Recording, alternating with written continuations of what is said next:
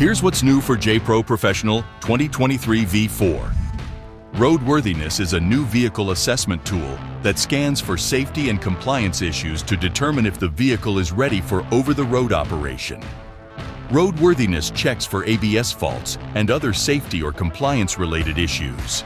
Technicians can use these results to determine if the vehicle is ready to be released or if further diagnostics are required. Users will also benefit from increased bidirectional support for manufacturers such as Cummins and Detroit Diesel. Lastly, we increased coverage and tests for Bendix systems, including tractor brakes, driver assistance systems, and air treatment systems. Download the latest update directly from JPro or visit us at noregon.com.